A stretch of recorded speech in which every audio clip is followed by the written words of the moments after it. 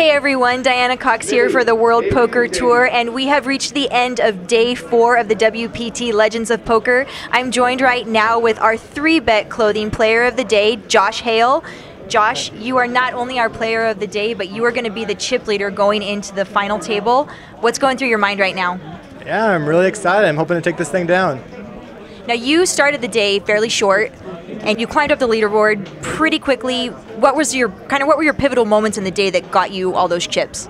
Uh, well, I got it in with Ace 10 of Hearts versus uh, Greg Mueller's Pocket Queens, or, and uh, got an ace on the river, so that doubled me up, and that was probably the most pivotal.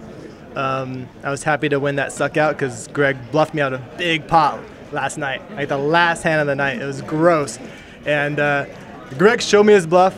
Um, he told me he thought I had kings, and I was actually thinking about calling him down way lighter than that. He has no idea how light I was going to call him.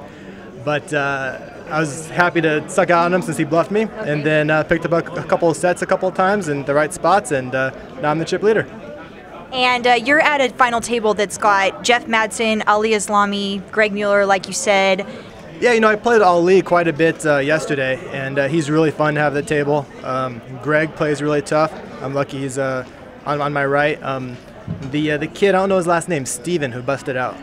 Uh, Grainer. Steven Grainer was really tough. I'm really happy he's not at the final table. So I'm, I do not want to play against Steven. Steven was tough. These other guys I can handle.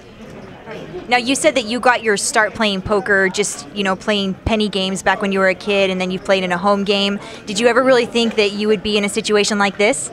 Uh, I mean, for sure, I, I, would never enter the tournament if I didn't think I could, you know, make it all the way. Um, I don't play a lot of tournaments, so it's not something I think about, but I'm happy to be here.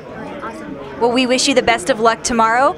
Once again, everybody, our three bet clothing player of the day, Josh Hale. I'm Diana Cox, and you're watching WPT.com.